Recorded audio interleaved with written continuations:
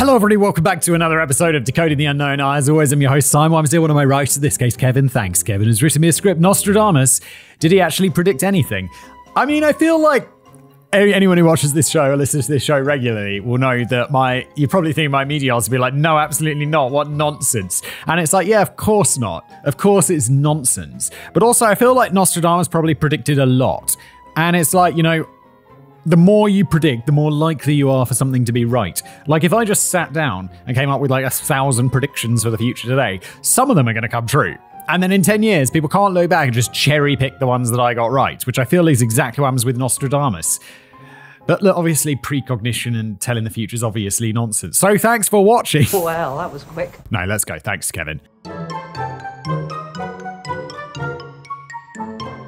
I've heard a lot about many predictions of Nostradamus throughout my life. He wrote thousands of prophecies, which people continue to pore over. And one of my grandfathers was even a big believer of Nostradamus. Because of all this, I, like most people, believe that Nostradamus spent his entire life working as a charlatan. Respect, Grandad. But he was never portrayed as some sort of starving artist like many others often are, so I always assumed that he was born independently wealthy and just frittered his life away as a seer. It turns out that I could not have been more wrong, and I was shocked to discover that while researching Nostradamus, that he had a regular 9 to 5 job which he was quite good at, and it wasn't until his retirement that he began spouting nonsense. Oh, I just assumed that he was spouting the nonsense. Like I did appear that I did think that he was like independently wealthy. I just assumed that he'd be like, yeah, yeah, yeah, it's my latest Nostro book. And it's like, what's this? Predictions for like 2160? Yeah, the world's going to end. Buy it. It's like seven shillings or whatever.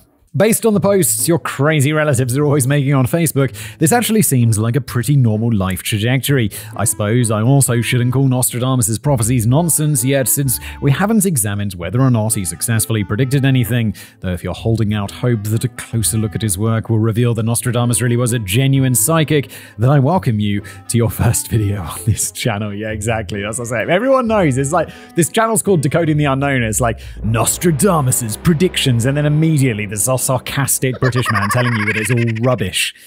I, said, I like that people watch this channel because I love like all over this stuff, but it does surprise me because it it does seem like the channel doesn't deliver what you might expect. It should just be called like skeptical head. Regardless, Nostradamus is still a surprisingly interesting historical figure. People who came claim to possess otherworldly powers are a dime a dozen, and it's extremely rare for any of them to become famous during their lifetimes. It's even more rare for someone to become famous for their success in these endeavors, rather than just as a well publicized liar. If you think about any famous modern day medium or psychic, they are almost always reviled and regarded as con men who prey on the desperate and stupid. I won't name any names since they've managed to avoid conviction despite perpetrating obvious frauds, but you know exactly the type of person I'm talking about. Yeah, I mean, in my opinion, the famous dude who bends spoons might be one of these. Just that's my opinion, and I'm not referring to any particular famous spoon bending litigious dude right now. No one in particular at all. Definitely not.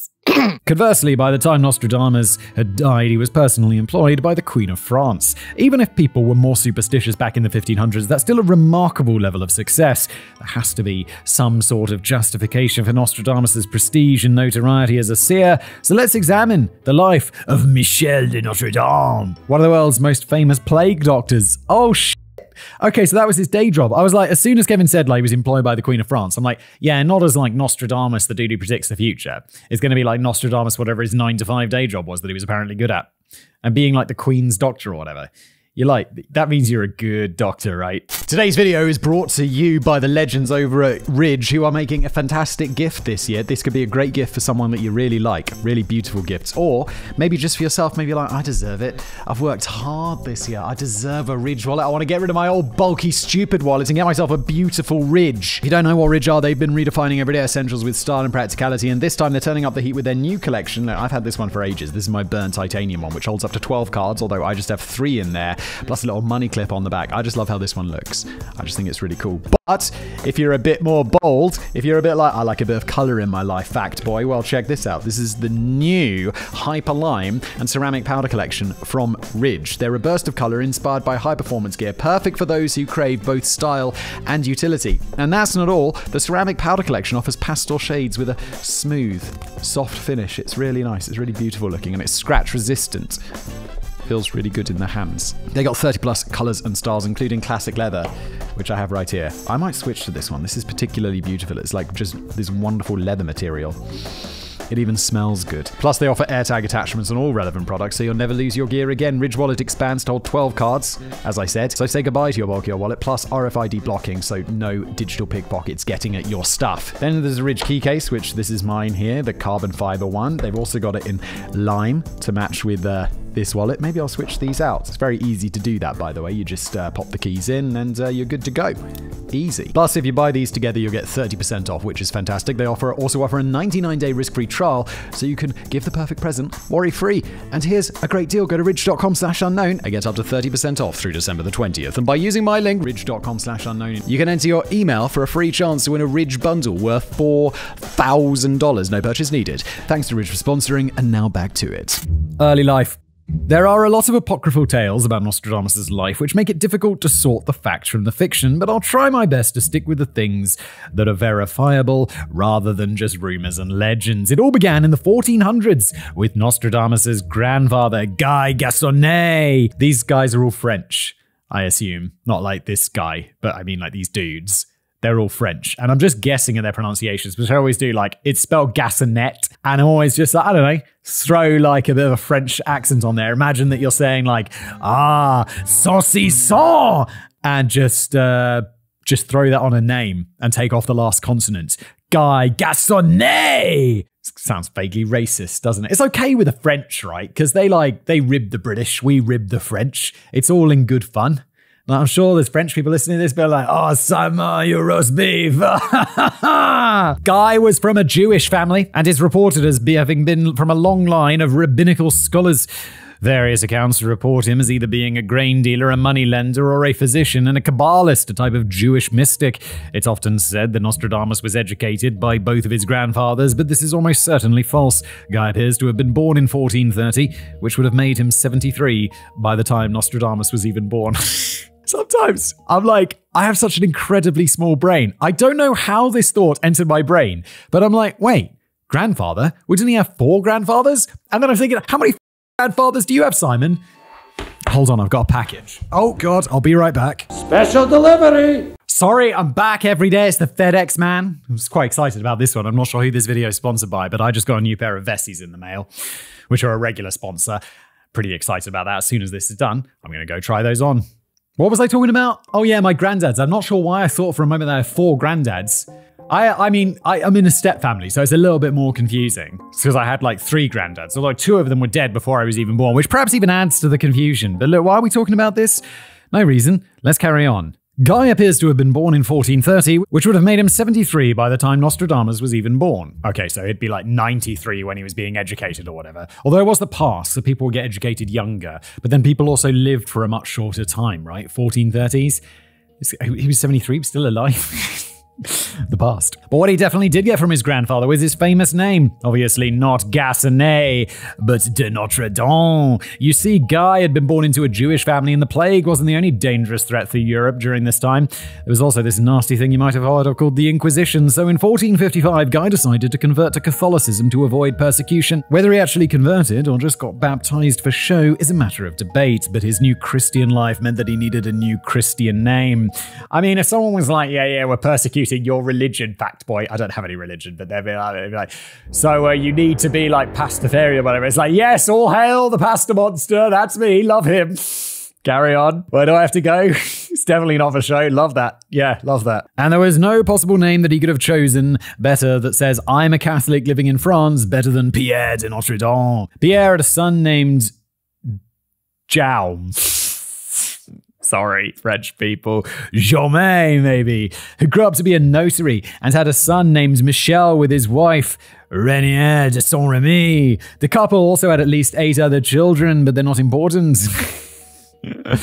yeah, those seven children. That's that's the historical footnote that you have. Nostradamus' brother. We don't know your name. We don't care. You're like, there's seven children. Not important. That's it. That's the historical reference for your entire life. Seven people. And honestly, listener, that's probably going to be your place in history. Probably even less because you don't have a super famous brother. Or maybe you do. God, it's depressing, isn't it? We're all going to be forgotten. I mean, it's not really depressing. It's kind of nice in a way. It's kind of freeing, no matter what you do. That's depressing. Oh God. It's like, yeah, eventually Hitler will be forgotten. You'll be like, oh, and he was a right knob. Michel was born December of 1503, though the exact day is not known. It was clear early on that Michel was a bright child and he studied maths, astronomy, and astrology. oh, the way, there was like, yeah, what are you studying today? Well, we're doing mathematics. We're going to be looking at the planets, and then we're going to learn about Taurus. Okay. In addition to learning to read Latin, Greek, and Hebrew. Again, it is said that both of his grandfathers tutored him, but this does seem unlikely. His paternal grandfather was 73 when he was born, and his maternal grandfather disappeared from the historical record when he was only one years old. That doesn't mean it's impossible, just that it's really unlikely. The only reason the question of who was educating Michel matters is because it is believed he was taught about Kabbalah and mysticism from his grandparents.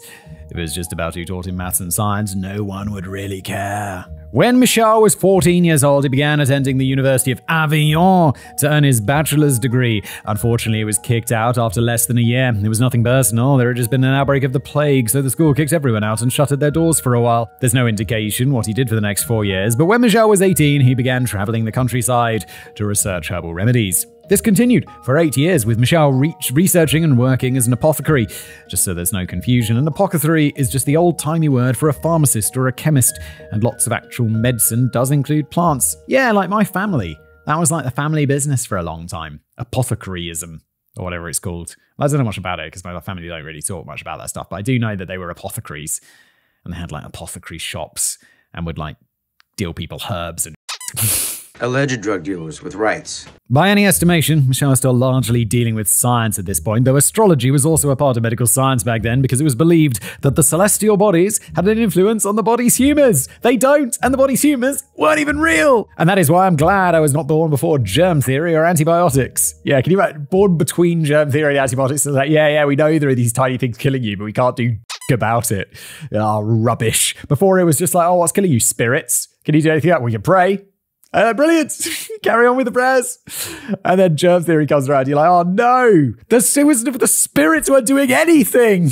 Anyway, in 1529, at the age of 26, Michel enrolled at the University of Montpellier to earn his doctorate in medicine. Unfortunately, he was again kicked out of school, and this time it was personal. The school had a strict policy against doctoral students having performed a manual trade. That's very snobby, isn't it? Which would have disqualified Michel because of his work as an apothecary. He was also allegedly talking about the doctors there, which wasn't going over so well. That's fascinating. The past is fascinating. That's also like my family that they went from apothecaries to doctors, like when doctoring became a thing, and uh, I didn't. I think I think my grandma, she's dead now, was a little bit, a little bit disappointed. I wasn't a good enough student to go to medical school anyway, so it wasn't. It was like it was ever an option, Nan. Um, but I think she was probably a little bit disappointed that I didn't become a doctor. I'm not sure, but probably. of course. But my dad was also like, don't do it. And I'm like, why not? And he's like, it's really hard work. I'm like, okay. Well noted. Won't do that. Of course, this is also debated a bit as well, with many sources claiming that Michel did in fact graduate from Montpellier, but allegedly the original expulsion document still exists in the school's faculty library. I can't find an image of it, and I don't think Simon is going to pay me to fly to France to go look over it myself. You're goddamn right, Kevin. But it would be very bold claim to make if it were not the case, so I'm inclined to believe it. And if anyone watching or listening to this happens to live in France and wants to go to the Montpellier faculty library, please feel free to check out Register as 2 Folio 87 and let me know in the comments if the expulsion slip is really there. If someone actually does this, you legend. the good doc. There's a lot of people who listen to this show. It's entirely possible that someone is listening in Montpellier, in which case, bonjour, Pierre. The good doctor after leaving school, Michel went back to traveling as an apothecary and a plague doctor. He quickly gained a reputation due to the success of the rather unusual methods he employed to combat outbreaks of the plague. For example, he advised citizens to remove the dead, diseased corpses from the streets, to practice basic hygiene on a regular basis, to only drink water that was known to be clean, and to get some fresh air once in a while. Pfft, Nostradamus, what are you talking about? Pierre de Nostradam, whatever the name was. Michel de Nostradam. It's like, uh, obviously, none of that's all bullshit. You just gotta pray harder, Michel. Come on. He also explicitly forbid the practice of bloodletting on his back. What nonsense! That's how you let the spirits out! Even though this was the standard method for treating the plague, it was the standard method for treating pretty much anything, and Michel's strong stance against it made him a bit of a renegade. Even though all of this stuff is obvious to us now, and it's shocking that they wouldn't have figured it out by the 1500s, all of these practices really were seen as strange back then. It's like, what are you doing drinking that clean water, you idiot? Just pray harder and bleed everywhere. What the fuck? They understood ideas like social distancing and quarantining to combat an outbreak, but that wouldn't be enough by itself, as everybody had horrible hygiene and left dead bodies around all willy nilly. Oh my god, I'm so glad I don't live in the past. Just in general, like everything was worse. And it's like for me, I'm like a white British dude. The past was not, I mean, it was, and it, it, for me, it would have been like not the worst ever, but it would still be shit. And can you imagine being a woman? like, oh my God, the past. Even the recent past. it's like, holy shit. Like, when it's like, when did women get the right to vote? It's like sometime in the 20th century. and I know it sounds like, it's like, yeah, Simon, of course, the past was different. But it's not that long. The older I get, the older I get, the more I realize that it wasn't that long ago. Because when you're like 12 or whatever, you're like, 100 years sounds like forever. And now I'm like in my 30s, I'm like, 100 years is only a third, three times the amount of time I've lived ago. And you're like, it doesn't seem that long.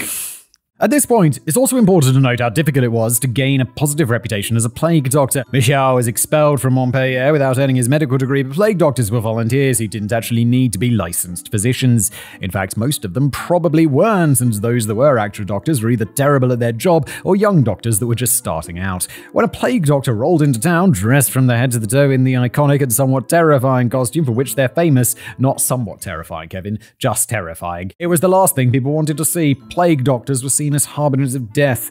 Their job wasn't really to cure people, it was just to count how many people were dead and infected. They would be contracted by towns who were facing infection, with those contracts forbidding them from seeing non plague patients and forcing them to essentially live in quarantine at all times, except when visiting a sick patient. The fact that these plague doctors didn't all die off immediately was really an accident more than anything else. The iconic costume provided a lot of protection from the disease, as they wore gloves, boots, long cloaks, and a mask that made it impossible to get too close to a patient. But these masks weren't actually designed to do that. Yeah, with the, the weird, like, long, beaky mask thing, that was just. I, know this, and I'm about to. I'm, I do not know why I'm saying this because Kevin's about to mention it. I'm just probably saying it to show what a big brain I am. But they stuffed it full of herbs and because they were like, oh yeah, miasma theory, the smells make people sick. So if we just stuff it with lavender, everything will be fine. And obviously that has nothing to do with it. But having the uh, the big beak thing just meant they weren't like basically getting right up in people's faces and getting their diseases. So that's nice. But these masks weren't actually designed for that. They were designed to store lovely smelling herbs and spices that would counteract the bad smells that caused disease, because that's how doctors thought the world worked.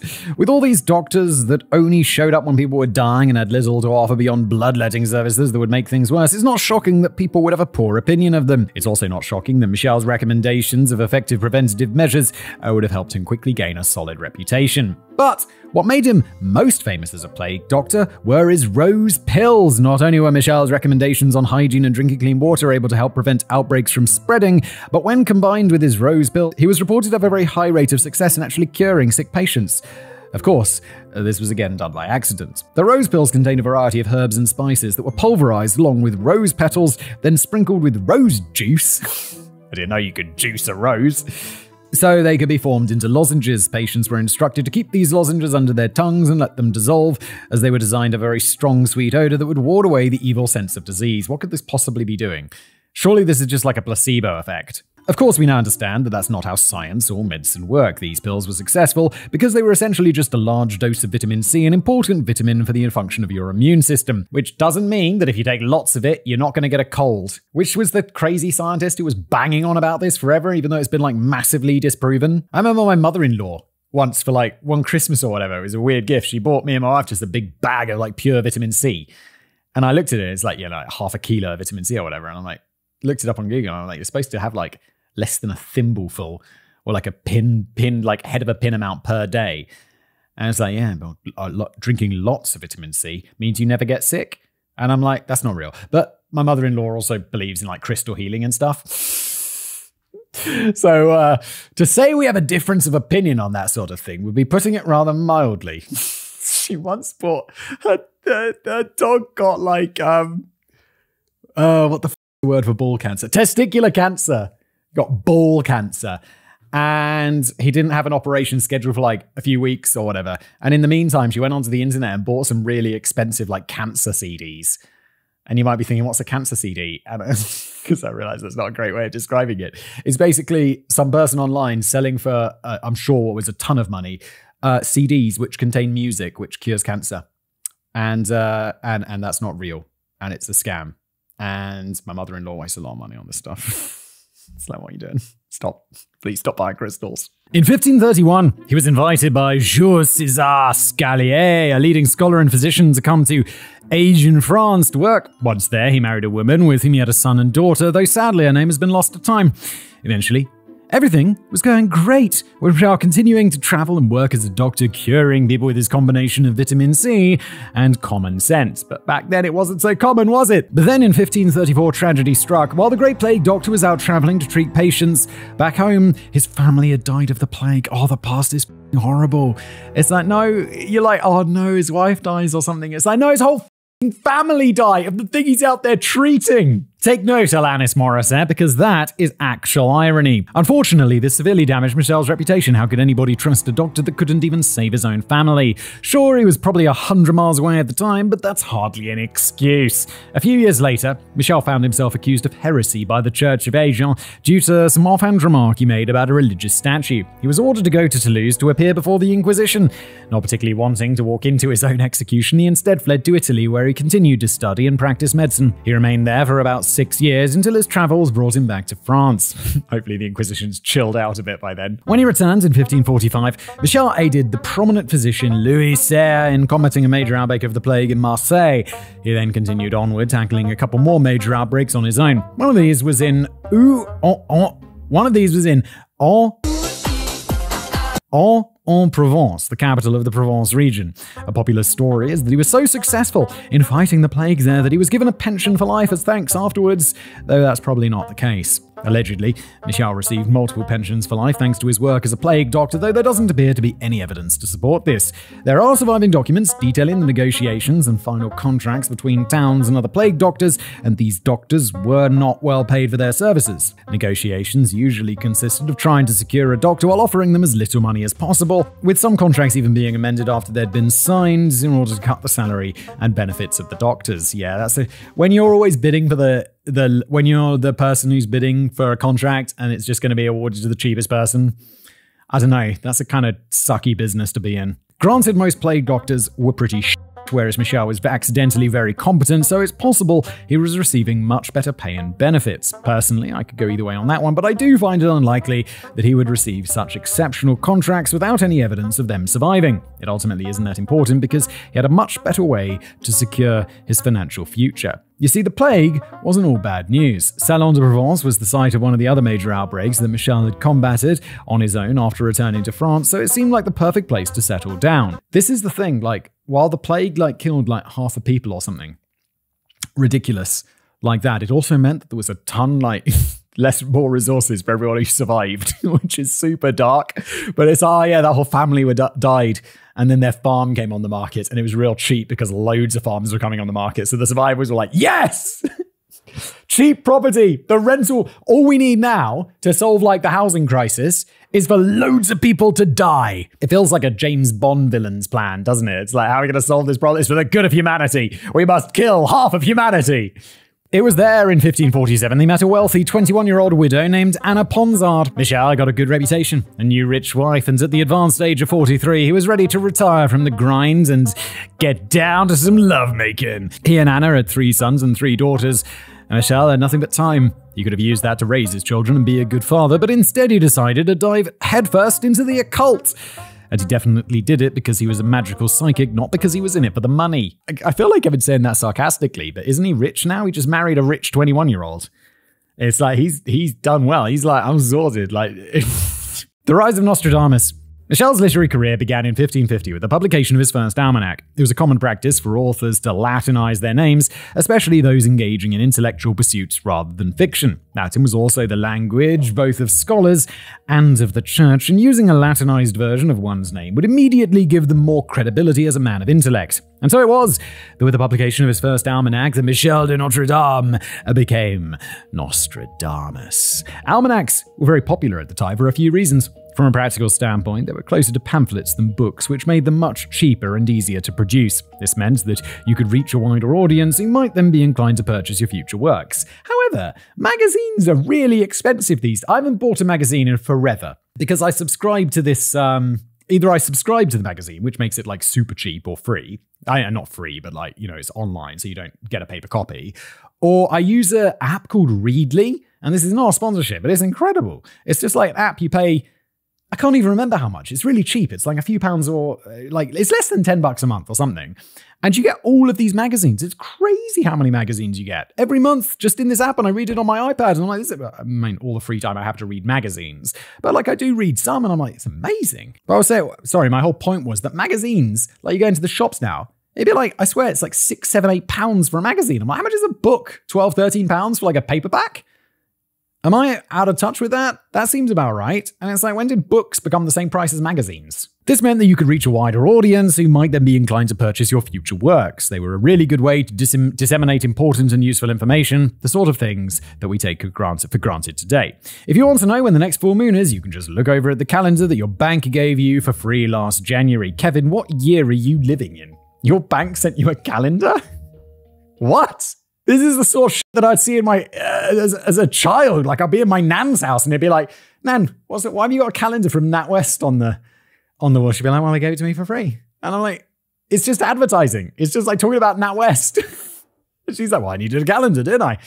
But it's like it's 2023. Banks aren't. Is this like an American thing? Because I know you guys still do checkbooks, which blows my mind. Like the last time I saw a check was. Uh, 20 years ago, maybe? I don't know. It was a long time. I was a kid and I had a checkbook. Like, you know, when you get your first bank account, it's like a checkbook. And I had a, gar- a check guarantee card, which would guarantee a check up to £50. And I was like, ooh, feeling fancy. If for some reason you care where high, care when high tide is, you can either look it up on your phone or in the newspaper. But this sort of convenience didn't exist in the 1500s. Almanacs provided all sorts of useful information, particularly for farmers, related to moon cycles, the tides, weather predictions, planting dates, sunrise and sunset times, and other stuff that would have been nice to have in one place. While the weather predictions were obviously going to be very hit on miss, most of the information was useful and reliable. But when almanacs were first created hundreds of years earlier, people didn't really understand how you could predict things like the tides without some sort of divination or magic. Is that, I don't know, how do you predict the tides? Because they follow a repeatable pattern! like, what the it's like Isaac tonight will be a full. Is that because last night it was almost a full moon? Is that what you're thinking? How do you do that? Magic. Since people already thought these almanacs were the result of occult divination, authors decided they might as well add horoscopes to their almanacs as well. Give the people what they want, right? Nostradamus' almanac was no different, with his earliest prophecies appearing in his 1550 work. Much to his delight, his first almanac was a critical and commercial success, so he decided to publish at least one almanac every year, sometimes more. His almanacs alone are known to contain 6,338 prophecies, though it's possible this isn't a complete list. These are not the prophecies for which he's most well known today, but Nostradamus made quite the name for himself in the day thanks to his almanacs. His work was exceptionally popular with the nobility, while the peasants weren't all big fans. The upper class found his prophecies to be fun and requested he do their own psychic readings, while the lower class thought he was the tool of the devil. The rationale usually given for this is that the poorer people were usually more superstitious, but this doesn't really make a lot of sense. Both sides were superstitious enough to believe the Nostradamus could see the future, it's just that half of them found it to be cute, and half of them thought it was evil. Prominent people far away, relatively speaking, began writing to him, requesting horoscopes and advice, which he was more than happy to oblige. However, he requested that they provide their own birth charts that he could use for his astrological mumbo jumbo. Typically, a professional astrologers would do this work themselves, and in the rare instances Nostradamus attempted to do it for someone, he would usually do it incorrectly, often forgetting to adjust for their time and location of birth. It's almost as if he didn't know what he was doing and was just in it for the money. Hmm, he's just making this up. In addition to his almanacs, Nostradamus wrote at least two medical books during this time. Sort of, anyway. He definitely had at least two medical books published, but we could definitely debate whether or not he actually wrote either of them. The first book was a very loose translation of a book written in the first century AD. His second book, Traité de Fardamment, contained recipes for medicine, cosmetics, preservatives, and a love potion. Sounds very medical, doesn't it? What's in his medical text?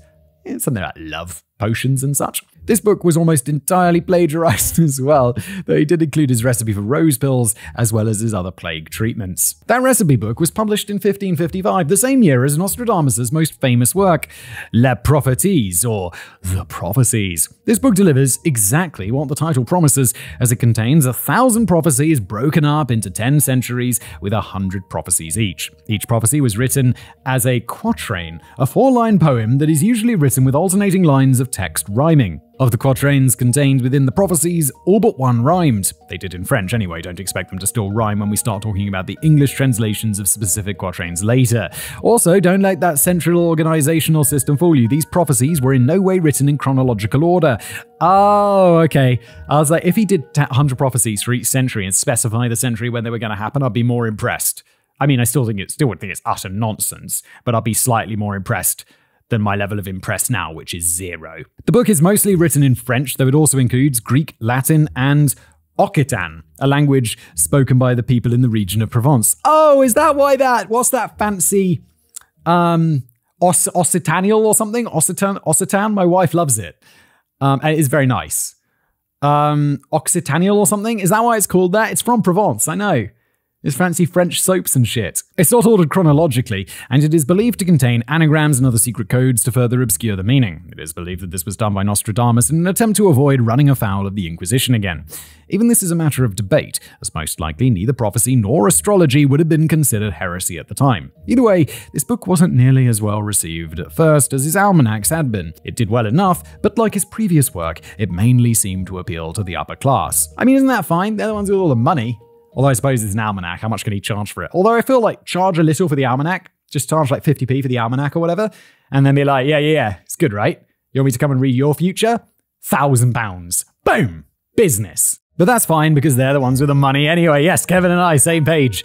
It's also important to note that because of how publications worked at the time, every printing of the prophecies is slightly different. Essentially, one person would read the original manuscript while another would typeset the printing press. When you're taking dictation like this, mistakes or inconsistencies are bound to pop up, and that's what happened. But because people like to search for meaning or secret messages where none exist, just remember that any differences between printings was not some grand plan by Nostradamus to conceal information, it was just a pair of minimum wage employees who couldn't be fucked to double check their work. And due to some other issues with publishers, not all of Nostradamus' prophecies have survived to this day. The prophecies was published in installments, and it seems that he kind of just released whatever he had finished by that point. The second installment finished with the first 42 quatrains of his 7th century, but the new publisher for the third installment refused to start the book in the middle of a century. It's unclear if or how those remaining 58 quatrains from the 7th century were ever published, but no copies have survived to this day. While his almanacs were a big success, the prophecies received much more mixed reviews. There were still superstitious peasants that thought Nostradamus was an evil sorcerer, and there was still the nobility that found it all absolutely delightful. However, there was a growing population that believed he was a fraud peddling a load of bullshit. Really? He was, was he? Ironically, the vocal group calling him a fraud were professional astrologists. Ah! Oh God, the past. The most vocal was Laurens Videl, who in 1558 published a pamphlet entitled Declaration of the Abuses, Ignorances, and Seditions of Michel Nostradamus. In the book, Videl accused Nostradamus of using a faulty method of predicting the future. Well, He's like, well, he's in that way of predicting the future, you idiot. This is the only way to predict the future. He also noted that he wasn't even using the fake method properly. Videl wrote, I can say with complete confidence that of true astrology you understand less than nothing, as is evident not merely to the learned, but to learners in astrology too, as your works amply demonstrate, you who cannot calculate the least movement of any heavenly body whatsoever. uh, the bull is calling out another bullshit. It's brilliant. That's pretty scathing, especially since Nostradamus claimed that his predictions were based on judicial astrology. Judicial astrology uses the locations of planets and stars to make predictions, though it isn't intended to predict specific events. When used properly, a term I use very loosely when discussing astrology, this method is designed to only determine the quality or potential of a specific day. Ah, yes, all of this stuff sounds so real. For example, they may use the planetary alignment to determine May the 27th of that year was the best date to hold a coronation. They would reason that good things happened when the planets had been in a specific configuration before, so it would be the ideal day to try again. It was still only meant as a probability, though, and things could go horribly.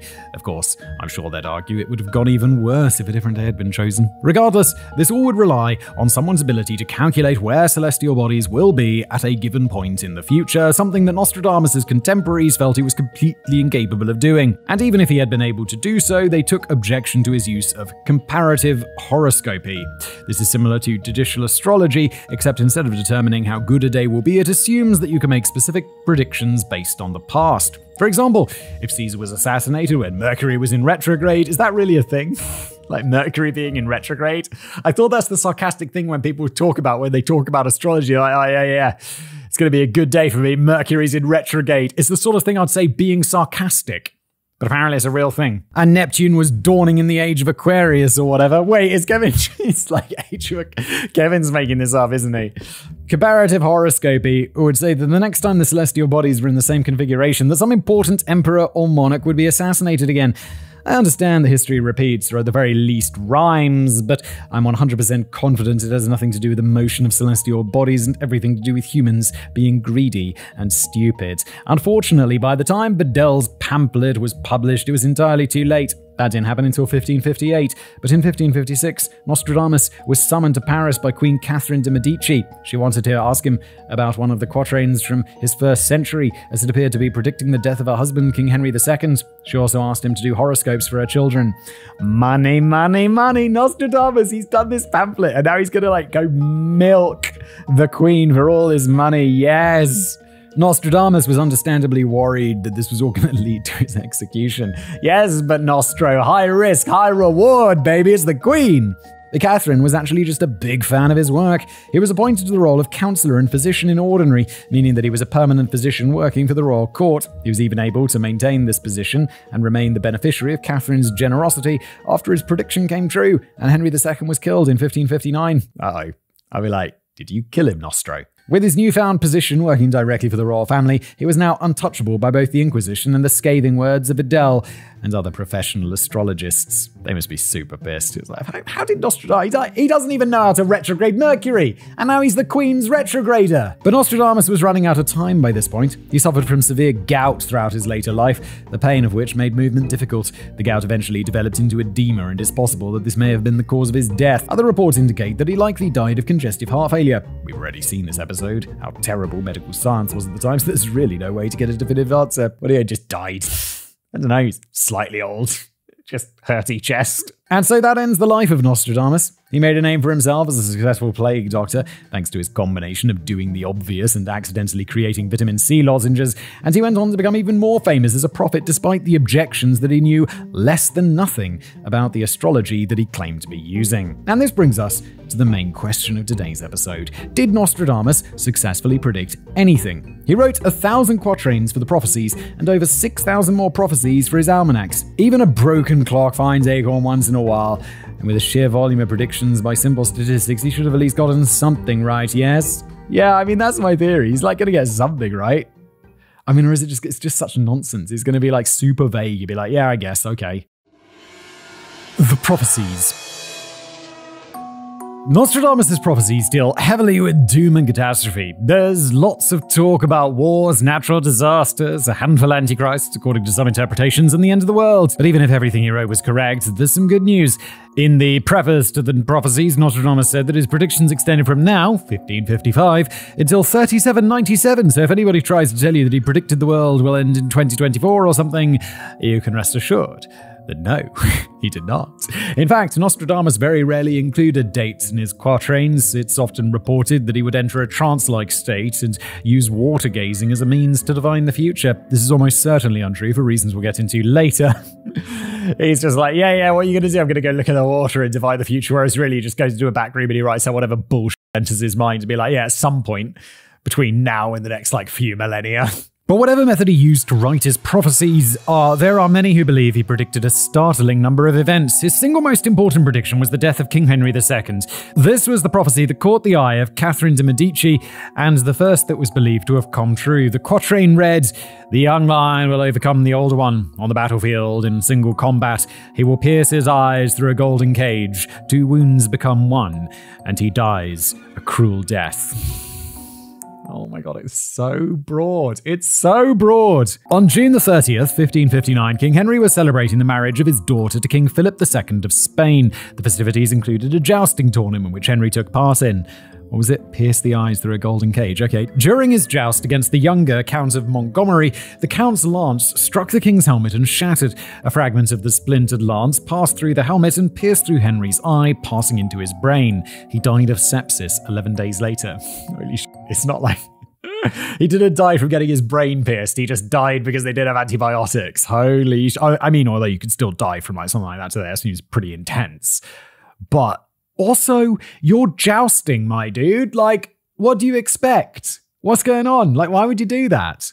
To readers of the prophecies, this seemed extremely straightforward. Henry and the Count both had lions adorning their shields, and Henry was the older of the two. They engaged in a joust and Henry was pierced through the eye. He was also pierced through the brain, which I don't think they were aware of at the time, but whether they knew of the second wound or not, it was definitely a cruel death. With those events transpiring just four years after the prophecies was published, it certainly gave a lot of credibility to Nostradamus' work for people that want to believe in him. But now things will get a little bit more abstract. More abstract is already abstract. It's like, okay, so they had lions on their shields.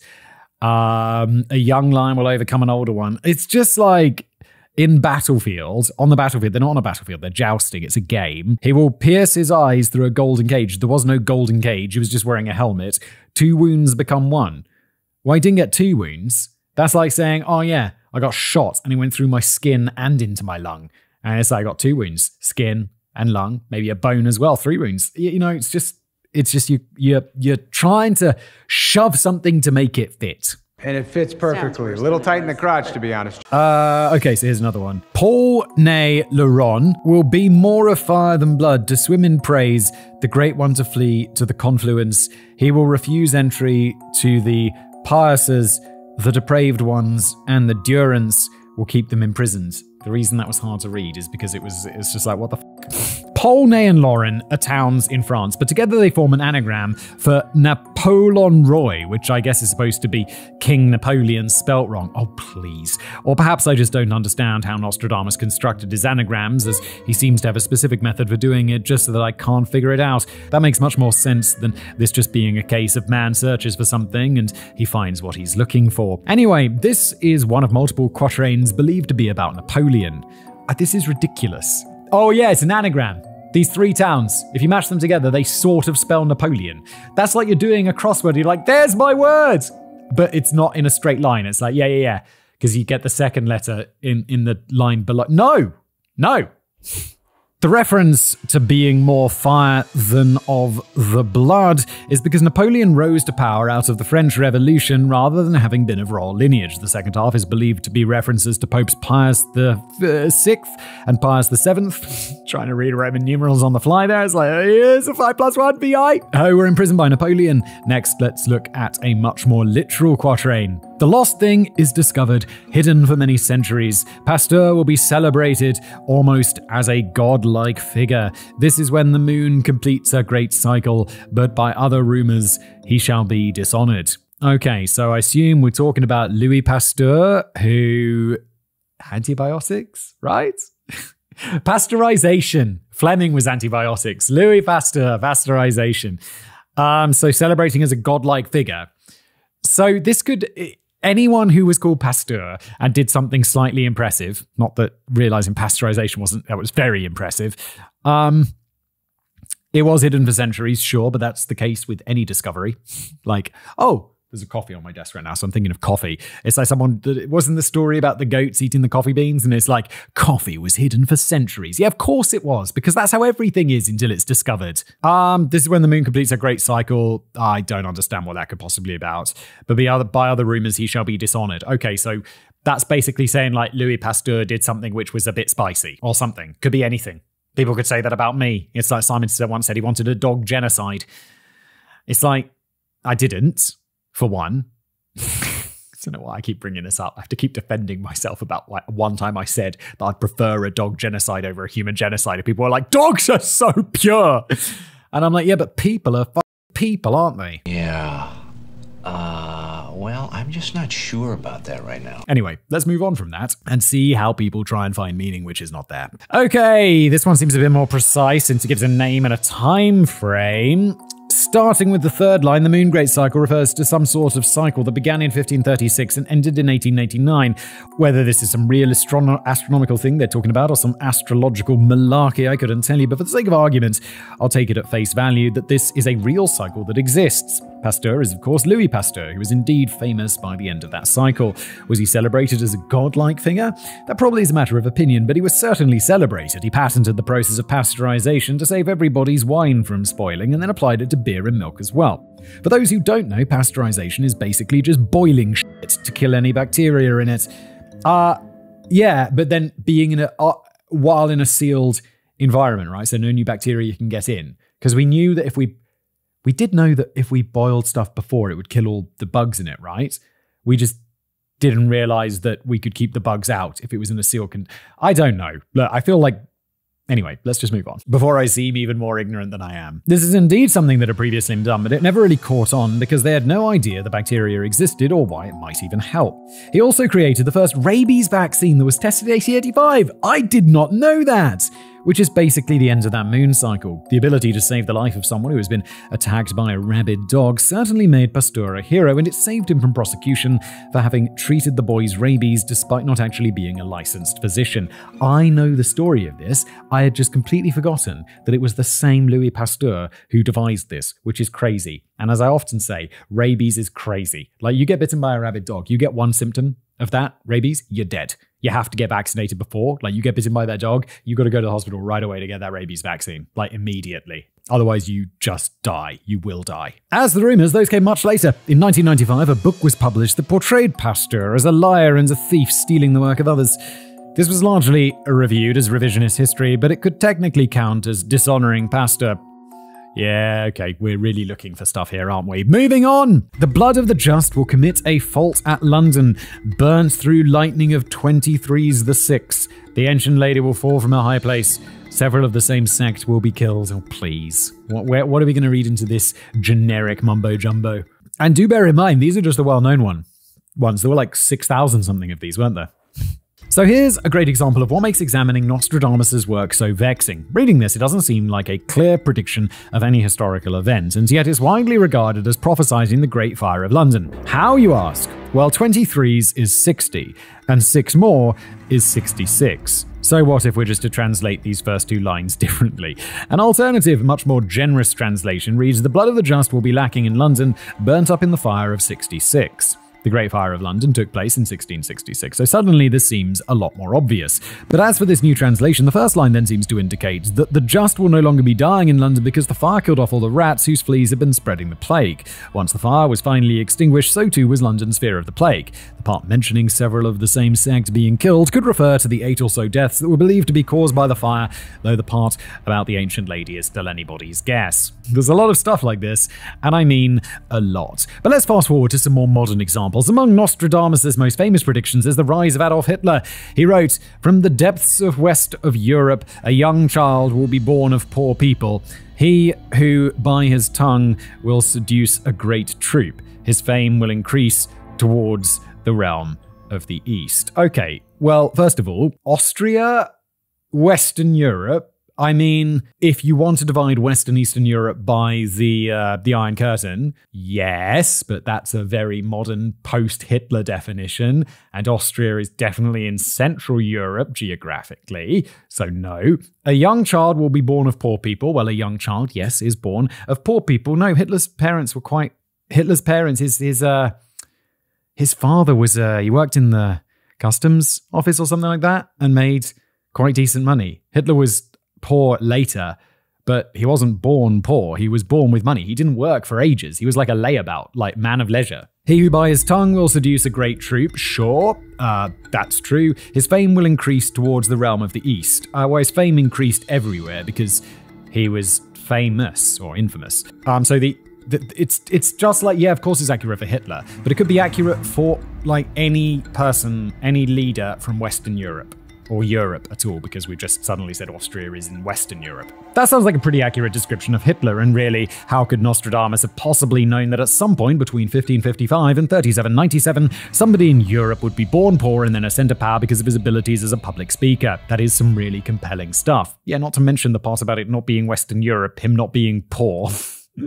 and it just be and it not just being the East.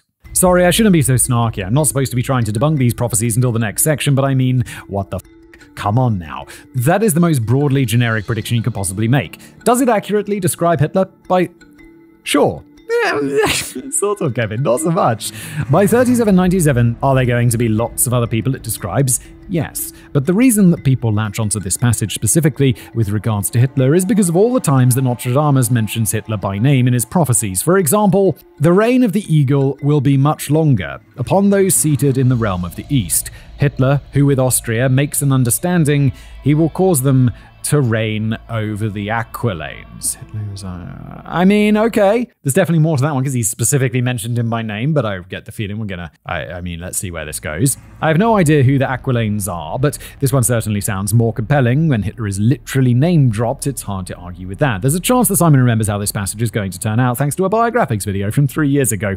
But if so, try not to spoil it yet. No chance, Kevin. I don't remember that at all. We can let the people who believe in psychics hold on to hope for a little longer before pulling back the curtain. But if Nostradamus was going to predict the rise of Hitler, surely he had to have predicted World War II as well, right? Well, don't worry, we've got that covered.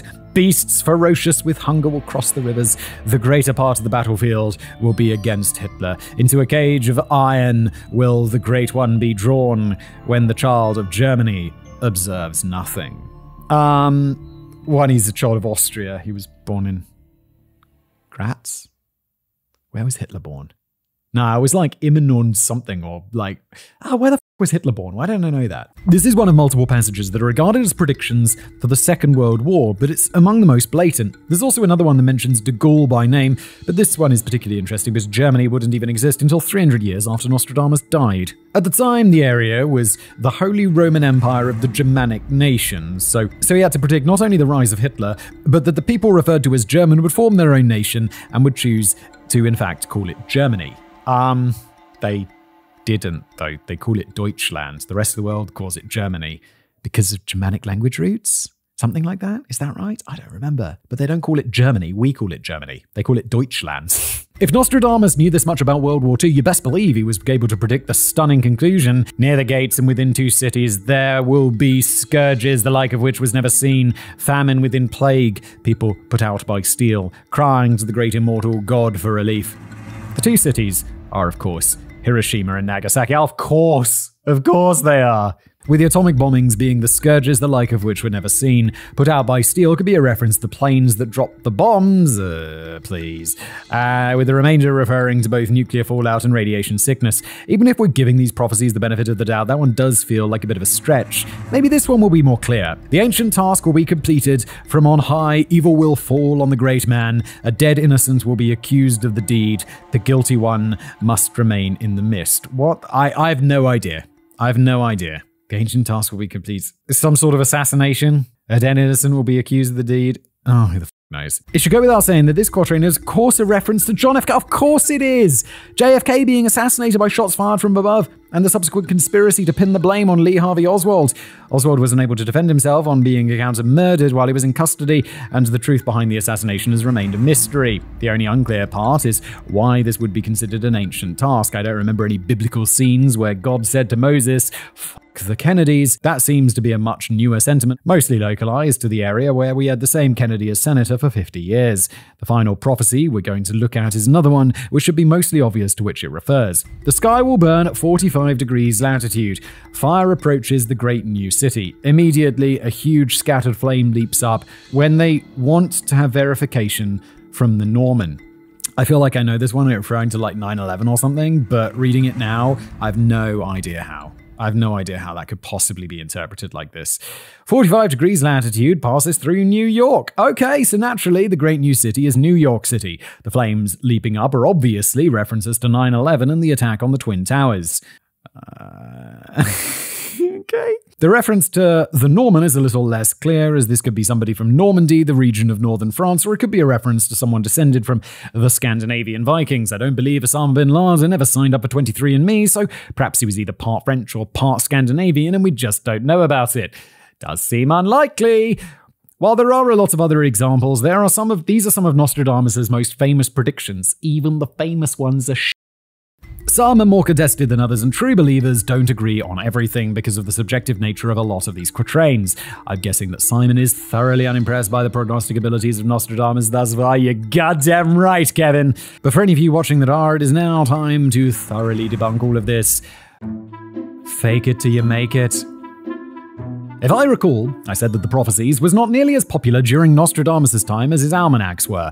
It has since become his most famous work, but the delay in recognition is in no small part the result of the various translations that have been produced. Because of the nature of the printing process at the time, early versions of the prophecies were slightly different. It doesn't help that, as time goes on, fewer and fewer people properly understand Middle French, and this has all led to a breadth of wildly different translations of Nostradamus' work. Yeah, the Hitler thing must have been a mistranslation, right?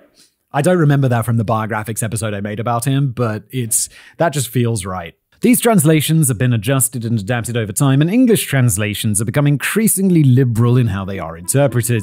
This is generally done after an important event has taken place and people have decided they want to attribute to one, it to one of Nostradamus' quatrains. For example, talking about World War II, I mentioned that Nostradamus makes explicit reference to Hitler multiple times. That's actually a lie, and he never once wrote Hitler's name. Shocking.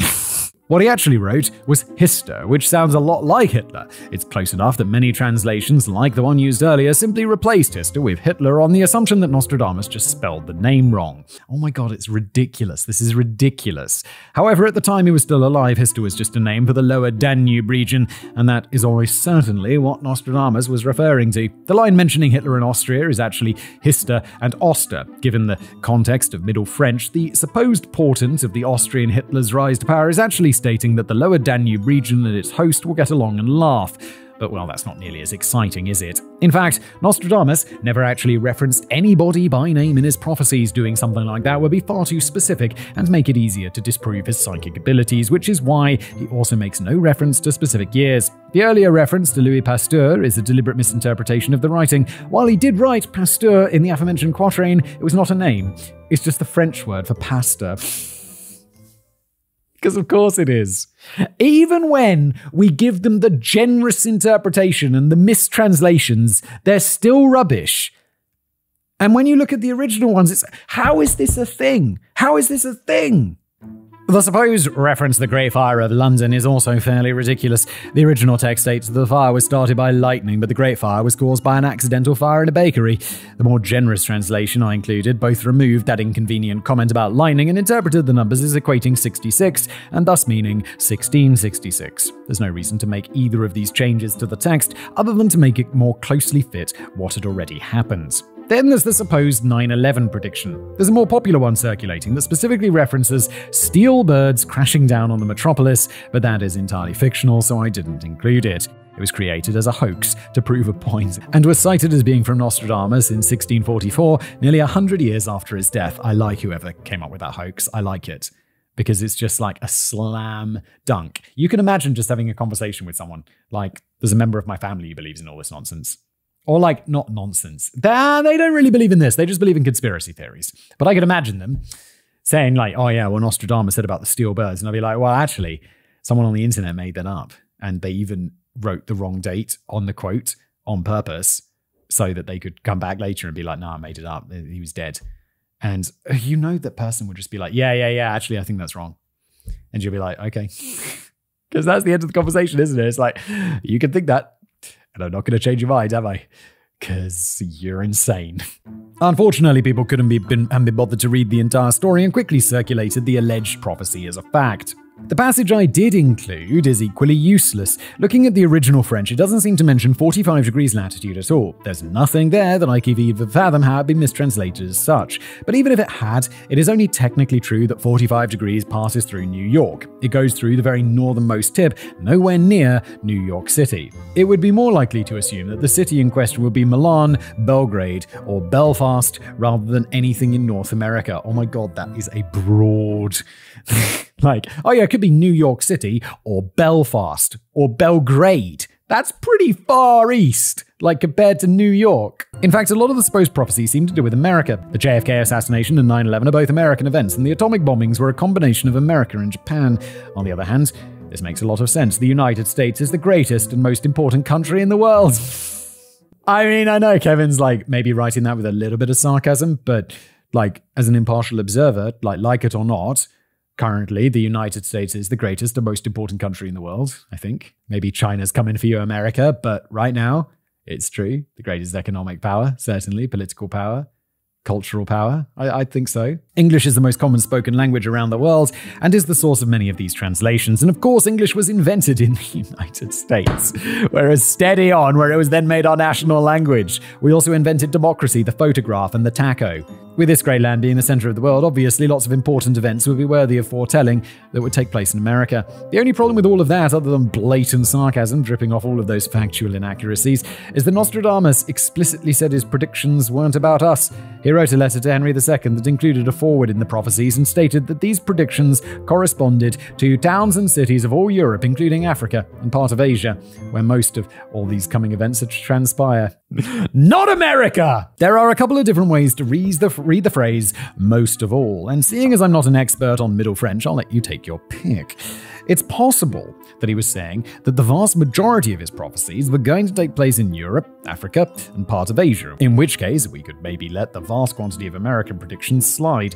It's worth noting as well that Nostradamus is unlikely to have known Japan existed, so it would not be a part of Asia to which he referred, and would likely be another outlier. Another way to read this phrase is that most of all means of most importance, and is possibly a somewhat awkward sounding sentence due to the translation. While this would be a smoking gun that nothing involving US events could ever have been predicted by Nostradamus, sadly, I think this reading is less likely. He used the phrase most of to describe his quatrains at least half a dozen times in this letter, so it seems like a clear sign that he was trying to hedge his bets and leave everything open to as much interpretation as possible. Of course he was. Although, speaking of Henry II, you eh, may still be wondering wondering about that quatrain that predicted his death. It was by far the most accurate sounding of any of these the lions, the battle, the two wounds, the slow, painful death. Of course, a lot of this is just surely coincidence. Lions were the most common animal to appear in medieval coats of arms, and it's not really close. Injuries to the eye were likely relatively common in battle, as full plate mail would have protected a person's body, with the slits in the helmet's visor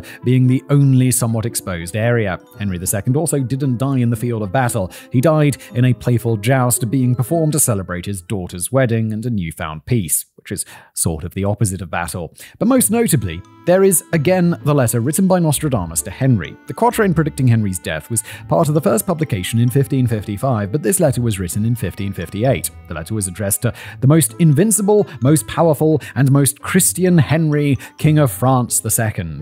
There's no evidence that Henry was ever referred to by the title Invincible outside of this letter, which just means it was Nostradamus' own personal appraisal of the man.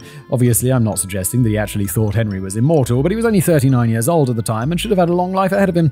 Why on earth would Nostradamus refer to someone as invincible if he already knew that the person would be dead within the year? Okay, so maybe these prophecies aren't quite what they've cranked up to be. They're heavily open to interpretation, and the well has been poisoned by mistranslations, both deliberate and accidental. Even without being mistranslated, I have to emphasize how ridiculous the quatrain that allegedly predicted the rise of Hitler was. All Nostradamus said was that somewhere in Europe in the next 2,000 years, a poor person will rise to power. And Hitler wasn't even poor! That's pretty much it. That is so absurdly vague that, of course, eventually something is going to happen. But wait a minute. I did mention a few more specific predictions. While they are exceedingly rare, I believe, occurring less than a dozen times in the total of a thousand prophecies, Nostradamus did inca- occasionally include a date. Let's have a look at one of those. The year 1999, seventh month, July of 1999, okay. From the sky will come a great king of terror, shall be revived the king of Angolmois, before and after Mars to reign as chance will have it. Okay, Look, I'm pretty sure, don't remember much about July 1999. I was but 12 years old. Like, what? Nothing. I don't remember some king of terror coming down from the sky. Feel like that would be notable. Weird, but I don't seem to remember any terrifying world leaders coming back from the dead in 1999. In fact, just suddenly Stalin just rises from the grave, or maybe it's Hister. In fact, nobody has been able to figure out what the hell happened in 1999 that this could have possibly been referring to. And it's not for lack of trying, and this quatrain has been retranslated and reinterpreted everywhere imaginable, but any possible meaning continues to elude us. Fine, so maybe Nostradamus wasn't really a psychic, but neither is anybody else. At least he meant well and was trying his best. It's not like he could possibly have been in this for the money, right? What about all those long nights he spent water gazing and placing himself into a mystical trance? As it turns out, that almost certainly never happens. If you recall the two medical books that I mentioned Nostradamus publishing, one was just a paraphrasing of an ancient text, and the other was almost entirely plagiarized. Is there any reason to think that the prophecies would be any different? How could he possibly have written this book while in a meditative trance if he needed to pay attention to the copy of Mirabilis Liber that he was copying word for word? No, he didn't. Mirabilis Liber, Liber, Liber, Liber was a massive compilation of predictions made by various Christian saints over the course of nearly a thousand years. It was very popular when it was first published in 1522, but it quickly fell out of favor. Not because people didn't find it interesting, but because it was mostly written in Latin and lots of confusing abbreviations that made it difficult to read. Nostradamus plagiarized his prophecies from the Mirabilis Liber, the Twelve Caesars, Livre de l'Essat et Mutations de blah blah blah, something in French, uh, which had been published by Richard Roussat only six years earlier and countless other sources. If ChatGPT had existed in the 1500s, I've no doubt that it would have published a thousand prophecies per week. Yeah, and then people would look back at it as some sort of god. Basically, all Nostradamus did was copy a bunch of other people's doomsday prophecies and sprinkle in vague references to historical events using comparative horos- hor- horoscopy. Is that a real word? and since experts of the day felt he was incapable of accurately calculating the motion of celestial bodies, he probably did the last part wrong anyway. To be fair to Nostradamus, even though I don't think that's necessary at this point, yeah, fuck Nostradamus. This blatant plagiarism would have been wouldn't have been scandalous at the time. The idea of plagiarism didn't really exist, and it was common for authors to copy or paraphrase the works of others without giving them credit, especially when it came to classical works. Ah, oh, what a better time. this was the present day, I'd be like, yeah, fuck hiring writers. I'm just gonna find a video on YouTube and just read it in my own voice. Boom! Money printing. But on the other hand, Nostradamus was also probably deliberately being a dick. Richard Roussat had proposed 2242 as a possible date for the end of the world. While copying Roussat's work, Nostradamus would have realized that he needed to make a different prediction for the eventual apocalypse if he expected his book to sell, so he just added 2242 to the current year of 1555, and that's why Nostradamus' predictions ran through 3797. Jesus Christ, Nostradamus. How do people still remember you today, you con artist? Wrap up. Nostradamus was a highly successful plague doctor, and that's really what he should be remembered as. Despite the complete misunderstanding of disease and medicine that existed at the time, he was able to come up with actionable plans that genuinely saved lives. Even his rose pills almost certainly helped decrease the mortality rate of his patients, even if he was completely wrong about why they were helping. And before any pedants getting me in the comments and mention that his rose pills contained sweet calamus, which is banned in the US for being toxic, I promise it was fine. It's true that the ingredient is banned, but it's toxic in high doses after long periods of time, which is not how patients were taking it. Yes, it is also a carcinogen, but if the options are die from the plague tomorrow or maybe get cancer in 20 years, there's a pretty easy choice. The vitamin C lozenges may not have been as effective as antibiotics would have been, but they still provided a very real benefit, and I think he deserves credit for that. Yes, agreed, the whole plague doctor thing was legit.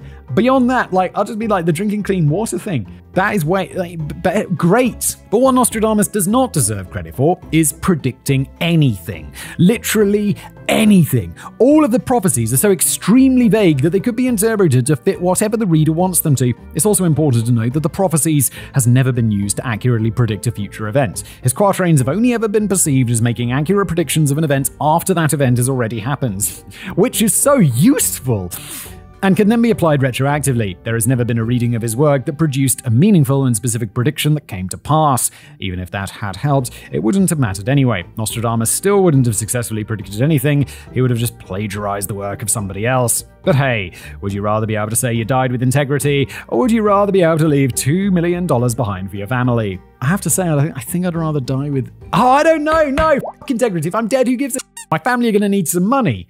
Because I'm the breadwinner, baby. Let's Nostradamus this Thanks for being here. That's where we end today's show. Leave a review on Spotify or a rating. If you're watching on YouTube, like and subscribe, and I'll see you next time. That I can predict for sure.